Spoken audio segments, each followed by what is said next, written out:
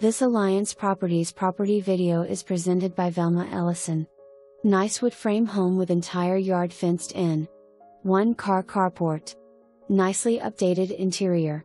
Small covered porch. It sits on 1 acre, to be surveyed out of a 2 acre parcel. Beautiful old oak trees all around.